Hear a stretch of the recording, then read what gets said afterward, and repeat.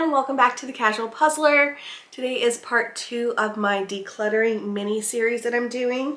I am moving in February with my husband. We're moving up to Washington and we are just in the process of decluttering and downsizing our home for that move.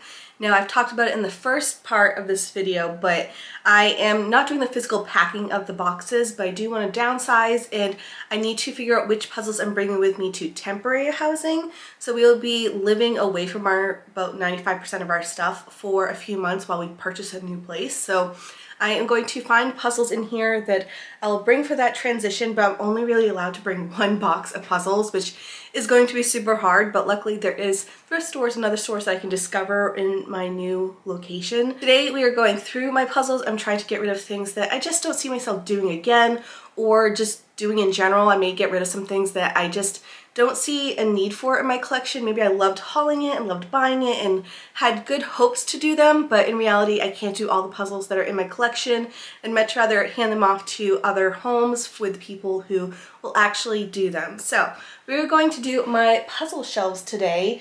I have already done the puzzle closet that's in my hallway. I'll leave that video down below. And then the next installment will be the closet that is in this room that has puzzles in there as well. But we are going to go through this together. I'm going to be somewhat cutthroat, try to be pretty thorough. If there's any videos that are in relation to any of these puzzles, I'll leave those down below. Ooh, before we get into it though, it is a December video, which means I do have a giveaway. So this giveaway today is the Jacarou puzzle. Here it is. It's super pretty and bright like all their puzzles are. This one is called Niwa and it's just like so bright and colorful. So this will be the one given away. Make sure to do all the things down in the description box and give them some love on their socials. Super small Canadian company and I've been loving their stuff this year. So let's just go into these shells. I don't know, yeah, yeah, you can see up top. Now I won't do close-ups of every single one of these puzzles because that would be extremely difficult on the editing side of things. So I'm just going to show you them and then talk about them. If you have questions on any of them, feel free to leave me a comment and I will gladly answer. But we are first going into these guys. So I have been a subscriber to Anthology Puzzles. It's just a wooden puzzle subscription. I have a lot of them from this year, but I don't need to keep all of these boxes because there's just too many. I just don't see myself redoing them. So let's see which ones I will keep. We first off have this one, which is Ugly Christmas Sweaters. One of my favorites of theirs. Um, does this one have the cover? Yeah, here we go. So we can see the image. Super cute. Love this one as a Christmas item, and I feel like I'll just like pack this away with my Christmas stuff. We have this one here, which is called Around the World, which is a fun one. They used to have it on stickers so you could put them on the boxes. So that's what it looks like. Um, they now come in tins like this one. It's no longer in the boxes. Um, but this one I don't see me redoing, so that one can go. I really enjoyed this one, which is called Kite Flights. I don't know if I'll actually redo it though. This one was fun. See, Kite Flights. It was pretty easy. Um, I mean, it was only 150 pieces. Okay, let me just, I'll keep like three of them. Let's do that. I'll keep three, the rest I'll give away. So we also have Fancy Fruits, which is a fun one. This one I don't see me redoing. This one I can part ways with, but it was a fun one and I like the bright colors. We have this one, let me see, this one doesn't have anything on the side, so. Oh, it's the amusement park one. It was fun. Again, I don't see myself redoing it. So I'll give that one a new home. And we have this one, which is, I don't know if I've done this one, which is cute. It's like all these like retro styles. I don't know what it's called. It's down on the bottom. Um, I'll keep this one, and I'll keep the Christmas one, and I'll keep the kite one, but the other three I'll part ways with. A lot of the ones up here are ones I have not done yet. So we have the Dragon Valley puzzle by Enwood Games, which is so fun to look at. Love the colors and would love to do that one. Ooh. I'm gonna put this one aside. This one I could see myself doing earlier next year, so that one might come with me in our travels. I'll put that pile here, I guess. Um, we have some bluebird puzzles. I have three of them. This one is really pretty. It is, here we go. Hopefully you can see it okay. Um, love the colors. Kind of gives me like paint by numbers vibes. This one I don't want to get rid of, but let's see. We have this one. This one's gonna fall. This one has very similar feels. Love the colors of this one here as well. And then I have this really fun um, Zodiac one, which is cool too. So I'll keep all three of these. I would love to do a video on them in the future. It is a French brand.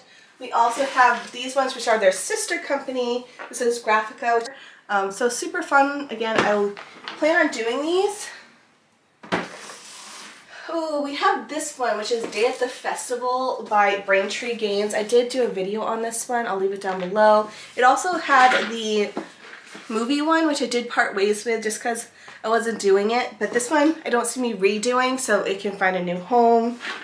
Super fun though. I remember really enjoying it. It's also a like a game as well because it's all like puns. It's cute. Watch the video if you want to learn more about it. I have my micro puzzles here. Do I need all of them? They're all the Christmas ones.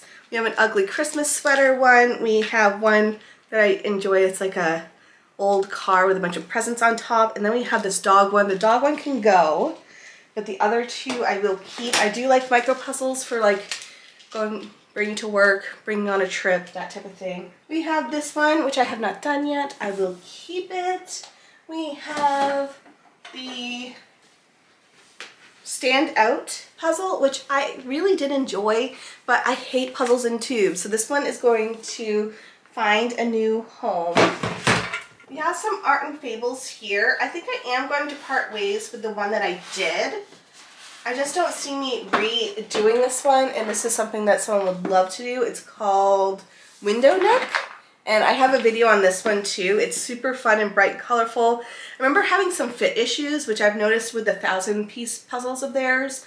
Not so much on the 500 pieces, but I just don't see me redoing it, so it's just hanging out in my collection for no reason we have another art and fable which I'll keep and there's actually this one which is one of my favorite puzzles of all time and I don't know why but it is just such a fun one. It's there east of the sun, west of the moon.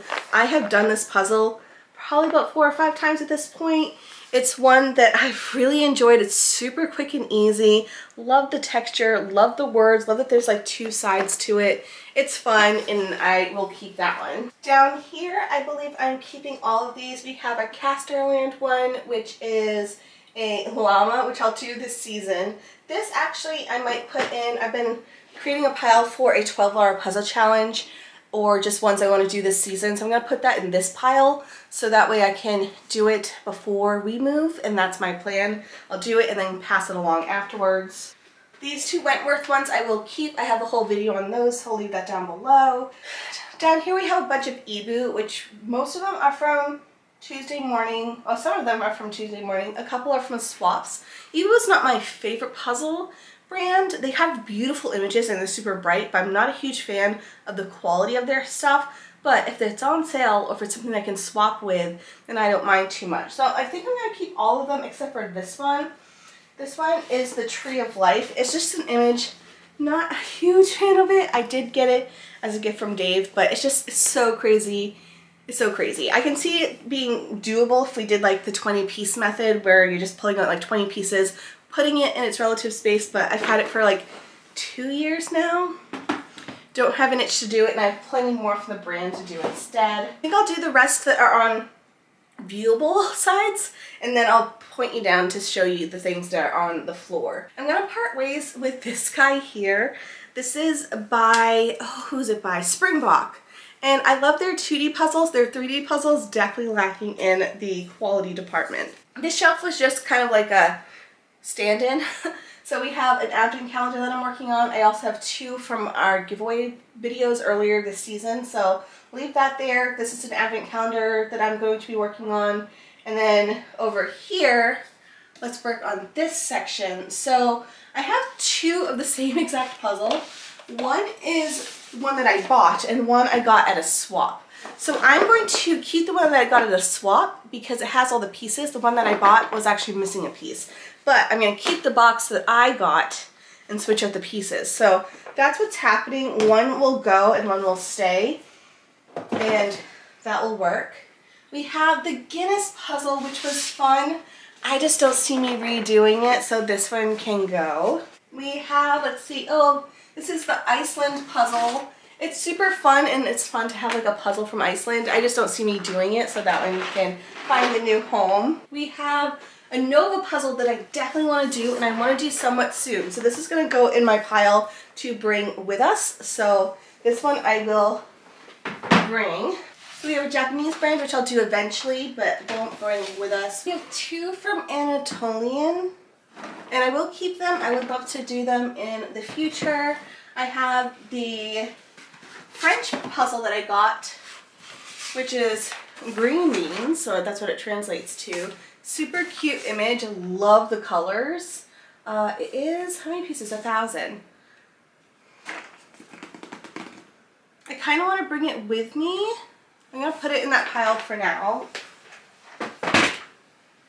And then we have this one from Truffle, which I don't plan on keeping, but I am going to use for a video. No, I don't need to keep it. I have the other one, and I have a video about this already, so this one can go.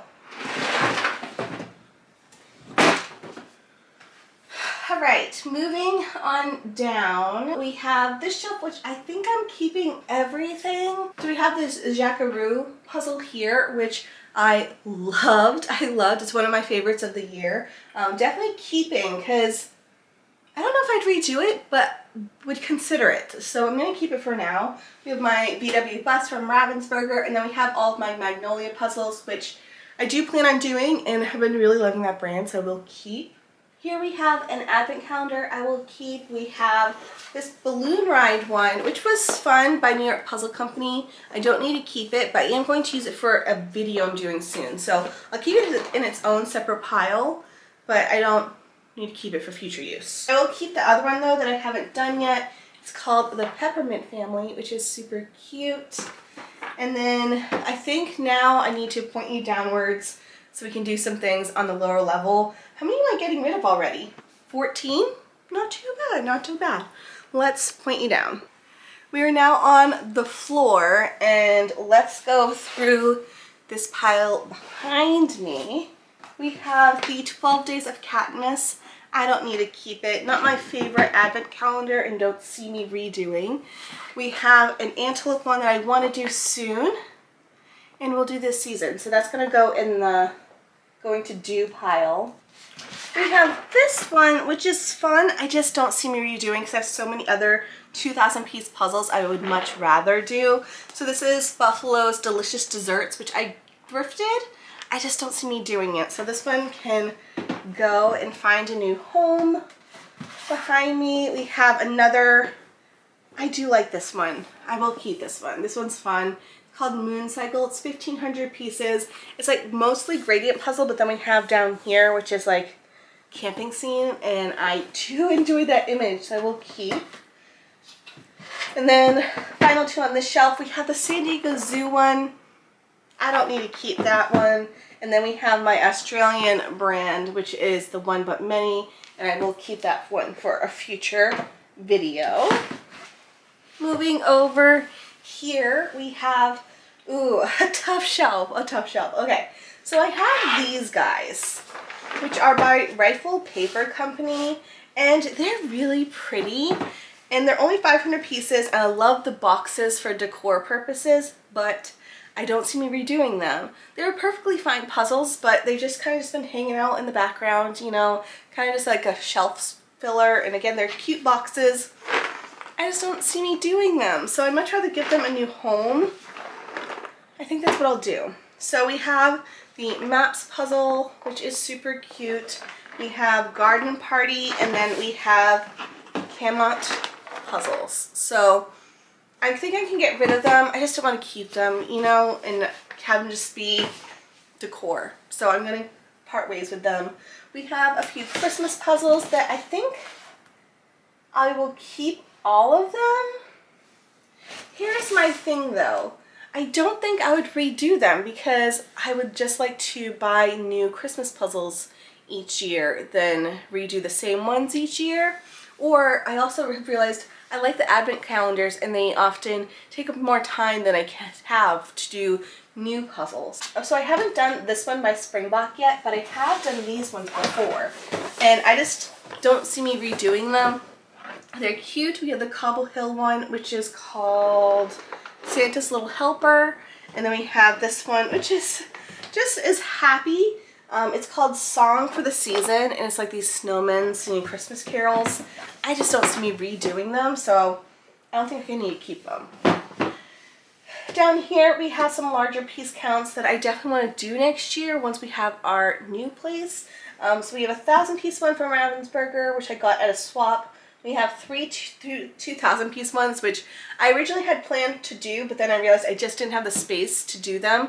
So I am going to wait until we have our new place because one of the criteria is to have a bigger puzzle room so that way I can do larger piece counts, but also a puzzle room that I can be shut off from the cats so I can do larger piece counts. So that is my plan with that. I also have my 6,000 piece one here, which I plan to do next year as well. And then we have these two shells, which I think may be difficult to show you, but let's just go over there. We have this one, which I will keep, I just bought. It's called Breakfast in Bed by New York Puzzle Company. It's by Janet Hill, which is the same one as our advent calendar. We have the 1930s puzzle, which I love, and I do want to frame once we get there. Um, so we'll just keep that one aside. We have this one, which is a Christmas puzzle I have not done. I don't think I'll be able to fit it in this season, but it's fun. It's the one where it's like the image is different than the image you see, and it's a cool concept. I just don't have time this season to do it. Ooh, ooh. uh, this one I've done, and I loved it. And I loved it so much, I would much prefer it in a bigger piece count. This one's only 500 pieces. It also comes in a thousand piece count. So I think I'm gonna get rid of this one. It's by Cloudberries. And I think I might buy the, the bigger one in the future. So that's my plan with that guy. Loved it so much. Like, I loved it. But again, I much rather have the full size one than that one. We have, uh, this guy. This is by Soonness. It's one of her PNP puzzles. And I am so curious to do this one. Do I want to bring it with me? Kind of, just so I know it doesn't get damaged in the move. So I think I will keep that one in that pile. And then we have this one, which I will keep. I did get this one from a subscriber. It's called Flight of Fancy. And I just, I love the colors of this one. So that one can stay and I'll do it in the future this thousand piece pomegranate. I just don't see me doing it now, but I do want to keep it.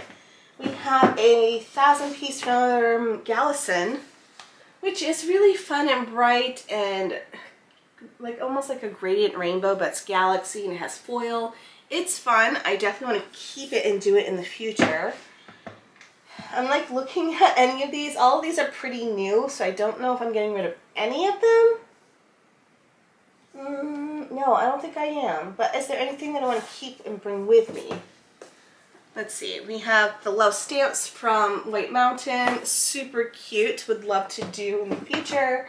We have oh, this one. I might put in my might bring with me pile because I really want to try Better Co. And this one is super fun. It's called Feeling Groovy. And it's like this music room. I think I will bring that with me. We have a Another one called Be Groovy.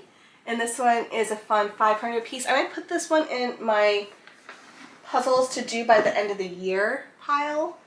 We have a thousand piece one from Gallison, which is houseplants, super fun and bright. This one I think I can say goodbye to because I have a couple other 300 piece Ravensburgers that I like to just keep on days that I want to do a puzzle, but not necessarily like a big two or three or eight hours type of situation. This one I've already done. It's called Portal into a New World. And I liked it. It was fun. I just don't see me redoing it so I can find a new home. We have this cool thing. Um, I want to do a video about it next year, but I don't think I'll be able to do it in the beginning of the year, although it is one of the few that are 500 pieces. I might put it in that pile. So this is one where it's like three different colors and you have to use different colored glasses to see the image. So it's a cool idea and I'll keep that one aside. We have the heart puzzle, which is wine. It's super fun. And then we have one that's a cobble hill, which I can't reach, but it's back there. I will keep it, which I just got recently. All right, so I'm getting rid of 25 puzzles. I'll show you that clip so you can see the amount that I'm getting rid of this time around. It feels so good to part ways with most of these I have done. There's only a couple that I haven't done, but that's okay. I would much rather focus on puzzles that I truly am excited for. And then I do have my handful of puzzles right here that I have in my potentials to bring with me for our move. So we have the Enwood Games one, which is super fun and bright. We have the 500 piece cool 3D multicolored type puzzle. We have the Better Co. I have the new Soonness. And then I have a couple for my Around the World series, like my French puzzle. And then this brand is from Turkey. So I'm excited for all of those. Like I want to have that same excitement with all the puzzles in my collection. So I'm excited to part ways with ones that I just don't see me doing. Um, I still have a few puzzles over here of puzzles that I will do this season, but then hand off to other people. Um, but that's it from me. I am excited for this series and to get rid of some things. And I'm so excited for our move. Uh, stay tuned for part three, which is going to be the closet, which I have a feeling there's going to be quite a few that I get rid of from there because a lot of those ones I have either done or forgotten about or just don't have the same urge to do. So that may be a very exciting video. So stay tuned for that. Thank you so much for being here. If you missed part one, I'll leave it down below and also make sure to enter the giveaway. So that's it for me. Thank you so much and I'll see you guys in the next video. Bye.